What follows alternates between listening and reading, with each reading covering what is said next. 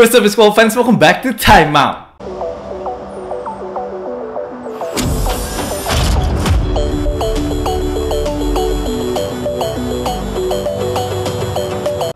Balik bareng gue Padilla, kita kembali lagi ke info basket harian dari si 24 Januari 2021. Time out gang, seperti biasa rutinitas kita setiap harinya akan ngobrolin basket di channel ini. Dan bagi kalian yang masih baru di channel ini dan juga belum subscribe, jangan lupa tekan dulu tombol subscribe ya dan juga tombol loncengnya. Karena setiap harinya di channel ini kita ngomongin basket, jadi kalau kalian suka, channel ini akan cocok banget nih untuk kalian semua.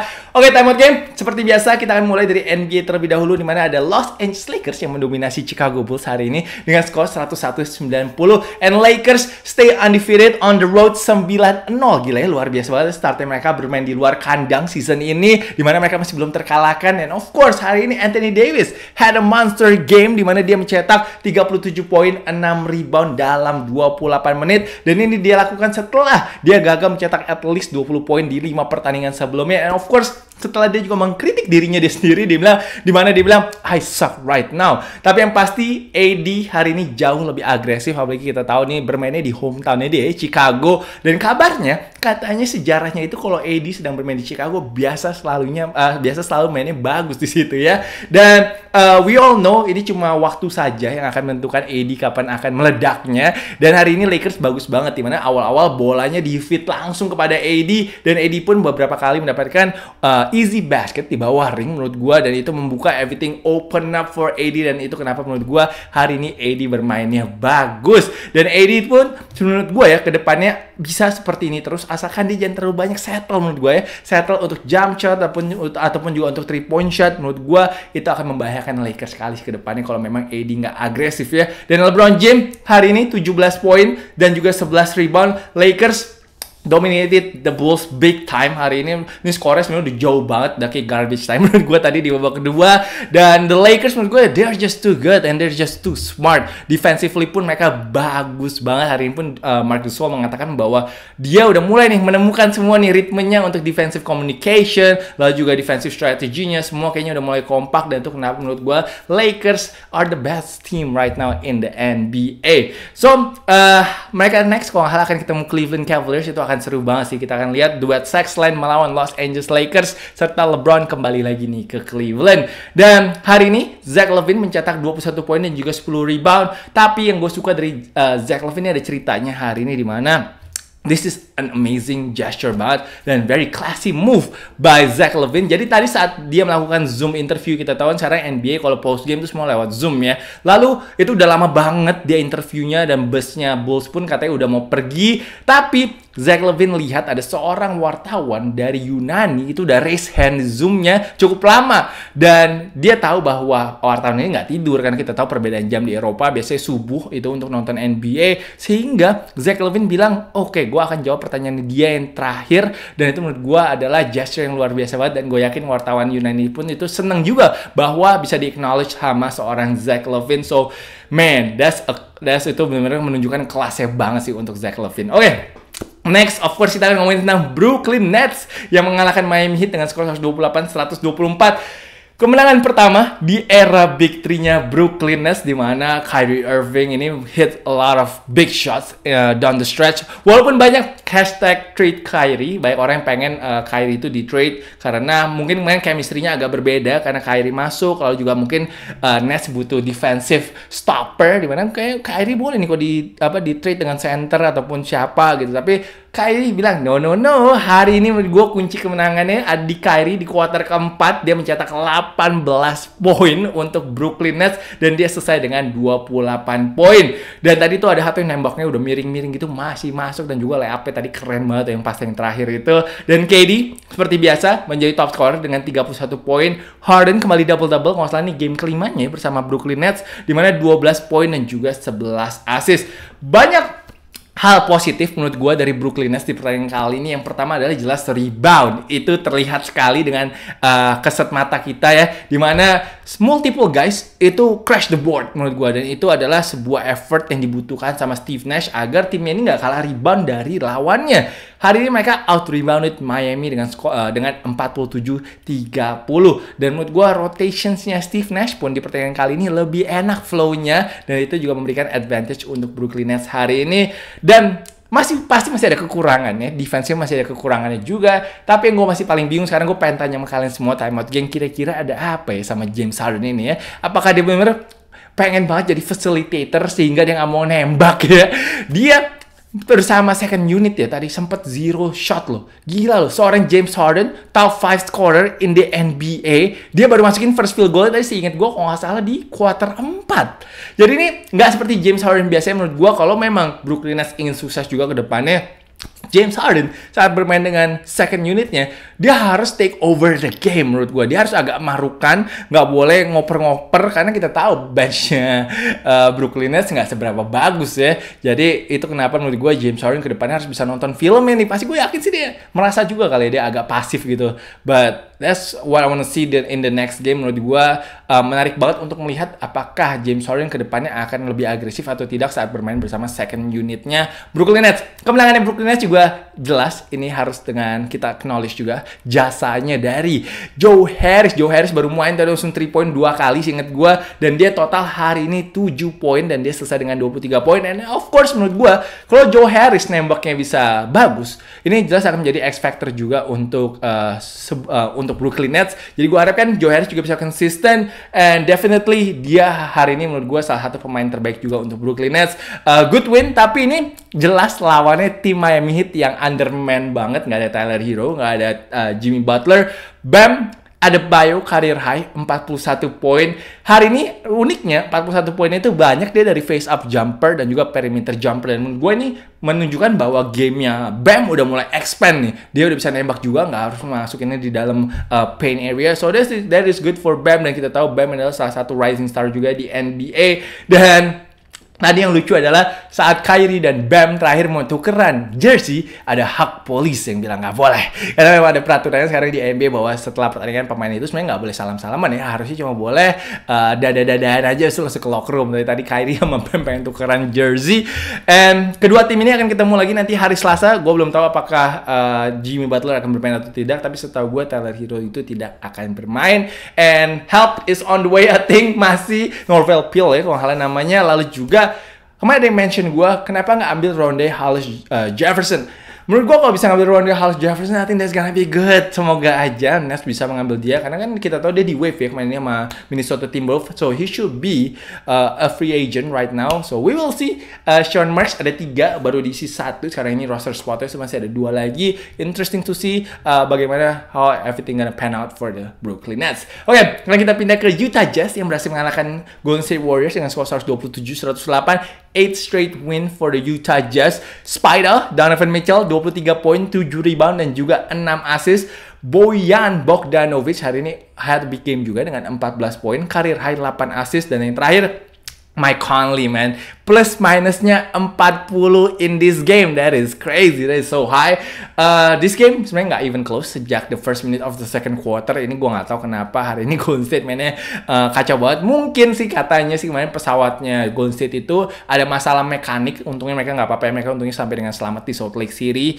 Uh, jadi kabarnya mereka baru nyampe di hotel itu sekitar jam setengah tigaan. Dan hari ini pun di cancel untuk shoot around-nya. Jadi mungkin pemainnya pada kecapean itu kenapa uh, skornya lumayan jauh. Tapi kita harus kredit juga defense-nya Utah Jazz looks really good menurut gua dan juga uh, offense-nya elite sekali sih untuk Utah Jazz season ini ya dan mereka season high hari ini 69 rebound. Congratulations to Steph Curry. Oh my god, the best shooter of all time menurut gua dia hari ini naik ke posisi 2 ya untuk di list uh, three pointer made of all time di NBA history di mana dia melewati rekor Reggie Miller sekarang ini Steph Curry rekornya adalah 200 eh sorry 2500 62 3 point. Dan gua rasa dia akan melewati rekornya Ray Allen sih nanti sih di mana Ray Allen sekarang 2973 jadi sekitar 400an lagi I think dua season itu I think bisa terjadi ataupun satu season mungkin untuk Steph Curry ya.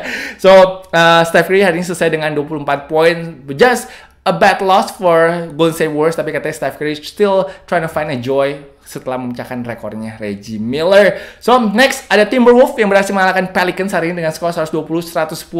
Pelicans are the most disappointing team menurut gue season ini di NBA. Sangat disayangkan sekali. Paling ekspektasi gue lumayan tinggi dengan masuknya Stan Van Gundy, lalu juga Brandon Ingram dan Zion Williamson. Menurut gue itu adalah duo yang lumayan bagus di awal season ini. Lalu juga masih ada Lonzo, and then kedatangan pemain senior Steven Adams. Tapi ternyata itu tidak membantu sama sekali karena mereka hari ini dikalahkan sama Minnesota Timberwolves yang nggak ada Carl Anthony Towns dan juga nggak ada di Angelo Russell. Pelicans sekarang rekornya adalah 5 kali menang dan juga 10 kali kalah sayang banget kalau gue tadinya expect mereka bisa compete ya for NBA playoff.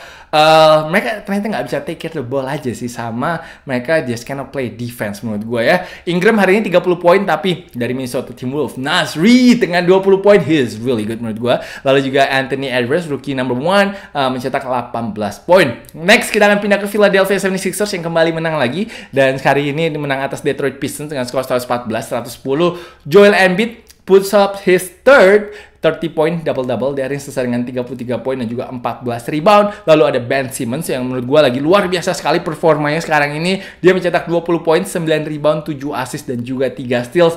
Ben Simmons hari ini free throw-nya 10 dari 12 so that is very encouraging for the Philadelphia 76ers dan menurut gue defense-nya dia nih lagi oke okay banget sih sekarang ini untuk Ben Simmons dan kalau dia bisa konsisten oh my god, I think Philadelphia, Philadelphia bisa jadi tim nomor satu nantinya di Eastern Conference. Dan Philadelphia of course improve ke 12 kali menang dan juga 5 kali kalah dan sekarang kayak pro, the process ini udah mulai kelihatan hasilnya. Dia cocok banget kayaknya dengan pelatih uh, Doc Rivers dan juga tambahan seperti Seth Curry season kali ini. Dan ternyata Sixers itu belum kalah sama sekali saat starternya semua bermain berlima. Itu bermain starter belum kalah sama sekali season ini. So it's a scary team sih. Next ada Denver Nuggets yang kembali mengalahkan Phoenix Suns lewat double overtime dengan skor 120-112. Shout out to Jamal Murray di mana dia tuh lagi cedera banget, uh, elbownya ya sakit banget. Tapi dia login 43 minutes on the second night of back-to-back di mana dia hari ini mencetak 26 poin, 6 rebound dan 5 assist and of course that tough tough tough 3 point shot in front of DeAndre Ayton to force overtime. Jokic was great as well seperti biasa dengan 29 poin, career high 22 rebound dan juga 6 assist. Tapi Nuggets hari ini sih dari benchnya luar biasa banget. Mereka get a, they got a good lift, a big lift actually. Dari 5 uh, mereka mencetak 52 poin, outscore benchnya Suns yang hanya mencetak 23 3 poin saja. J. Michael Green 16 poin, MPJ mencetak 14 poin. Perasaan gue tapi Nuggets season ini banyak banget ya mereka memainkan permainan apa game overtime gue nggak tahu berapa kali tapi sering banget sih inget gue dan tadi uh, beda banget saat Jokic dijaga sama Aiton ya Aiton it was sensational menurut gue jaga Jokic itu bagus banget tapi saat Frank Kaminsky yang jaga Jokic itu dihajar habis-habisan dan hari ini Phoenix Suns tanpa Devin Booker sayangnya dia masih cedera kemarin ini cedera hamstring ternyata dan hari ini Jay Crowder dan juga Chris Paul masing-masing mencetak 21 poin. Terakhir ada Houston Rockets yang mengalahkan Dallas Mavericks dengan skor 133-108 Eric Gordon. Oh my god. He is good. dia hari ini mencetak 33 poin lumayan juga tuh yang nemuin Eric Gordon di NBA Fantasy pasti banyak banget di free agent. Jadi bagi kalian bisa pick up pick up Eric Gordon menurut gue lagi dia lagi bagus banget uh, sekarang-sekarang ini. DeMarcus Cousins double double 28 poin dan juga 17 rebound. DeMarcus dua game terakhirnya juga statsnya oke okay banget. Tapi untuk Rockets the young guys man, they are so much fun to watch. Very entertaining menurut gue dan ada Mason Jones ini 16 poin dalam 19 menit tapi gue tadi suka banget ngeliatin Canyon Martin Jr. Gila asik banget ngeliatin dia main. Uh, eksplosif banget dia hari ini uh, 8 poin, 6 rebound dan juga 3, 3 blocks dan nanti kalian akan lihat di top place blocknya dia. Mungkin one of the best blocks so far in the season yang ngeblok Boban. so itu nanti kita simpen dulu. Uh, gua harapkan Kenyon Martin Jr. ini akan mendapatkan menit lumayan banyak nantinya dari Steven Silas ke depannya. I think he has a great potential sih. Kita tahu bapaknya dulu juga jago banget bersama Denver Nuggets. Hari ini untuk Dallas, they just had a bad effort banget sih. Kayak mungkin juga mereka agak kecapean. Uh, Luka Doncic hari ini mencetak 26 poin dan juga 8 assist. Tapi mereka 3 point shotnya hanya 20% saja. Oke, okay, next ke prediksi. Hari ini at least lumayan lah. Ada betul dua prediksi gue. Hanya salah satu. Hanya Phoenix Suns saja yang salah. Tapi Lakers dan Utah Jazz benar. Besok ada 6. Kok ada 6 game besok ini. Dan gue pertama akan memilih Indiana Pacers minus satu setengah melawan Toronto Raptors. Gue nggak usah pikir panjang kayak Indiana kok di home court mereka mereka biasanya mainnya bagus. Lalu ada Portland. Besok yang kita New York Knicks biasanya gue kalau um, prediksinya lawan New York Knicks biasanya gue selalu kalah nih. Jadi gue penasaran. Semoga besok Portland minus 3,5 bisa mengalahkan New York Knicks. Amin. So itu adalah dua pilihan gue besok Indiana and of course juga Portland. Sekarang kita terakhir akan masuk ke top place uh, terlebih dahulu di mana ini yang gue tadi bilang, Kenyon Martin ngeblok Boban Marjanovic. Wah, gila sini timingnya pas banget dan this is a very good block banget. Next ada Jenna McDaniels. Wah, ini juga dia ngeblok uh, Zion Williamson lumayan telak sih hari ini. So, dua top list pertama ini adalah block. Next ada insane yang tadi gue bilang insane step back by uh, Jamal Murray di depannya. DeAndre Ayton to force overtime. That was really sweet jump shot. Dan yang terakhir ada LeBron cutting through the lane. Dia ditemukan oleh uh, Anthony Davis for a two-handed slam. Dan menurut gue Anthony Davis sekarang passingnya sih wah one of the best big man passer lah pokoknya di NBA so itu dari top place. Tapi sebelum kita udahan gue mau share dulu satu video dari tim nasional Indonesia. Ini ada Lester Prosper. Ya kita tahu baru aja balik dari Miami kemarin dan sekarang dia latihan bersama timnas elit muda karena dia juga bagian dari tim itu ya. Di mana wah dia kayak having fun banget tadi ada reverse uh, layup itu wah atletis sekali dia. Dia bilang dia ngerasa kayak umur 25 tahun lalu juga di slam dunk anak-anak timnas elit muda. Wah belum ada yang siap nih kayak untuk ngeblok Leicester Prosper kasian juga ya didang-dangin sama dia. Kita kita tahu pasti Leicester overpower banget sih lawan anak-anak muda ini. But it's okay. Semua pasti akan belajar juga dari Leicester Prosper. He's a great mentor for everybody. Dia orangnya mau banget berbagi dan juga mengajarkan pemain-pemain muda muda, especially for Derek Michael. Hopefully dia mendapatkan ilmu banyak juga dari Leicester Prosper saat lagi latihan ini. Oke, okay. Time Out Gang, itu aja untuk hari minggunya, untuk edisi Time Out hari ini. Dan tadi gue ngeluarin video untuk Next In Line uh, mengenai anak uh, bersama Alfa Rizal, dia masih 17 tahun umurnya. Dia ini sedang uh, datang ke Indonesia, kalau nggak salah sebulan. Dia akan try out dengan satu tim di IBL untuk ngetes apakah dia bisa atau nggak compete di IBL karena dia mimpinya ingin sekali nanti setelah kuliah itu balik ke Indonesia untuk bermain IBL. Jadi salah satu pemain muda yang bisa kita pantau terus nantinya, salah satu yang berbakat banget, anaknya sangat atletis sekali Walaupun memang masih agak raw skillnya, but he is pretty good though. I like I like his game. Dan nanti kita tinggal tunggu aja apakah dia akan bekerja keras terus atau tidak ke depannya. So, itu aja Time Out Gang dan Time Out Gang bagi kalian yang mau beli kaos Time Out Gang dan pengen support clothing line gue yaitu No Limits. Jangan lupa juga untuk ke Tokopedia-nya No Limits. Oke, okay, Time Out Gang. I'll see you guys tomorrow. Seperti biasa, jangan lupa untuk like, jangan lupa untuk komen, and jangan lupa untuk subscribe. Thank you guys for watching. I'll see you guys tomorrow. Peace.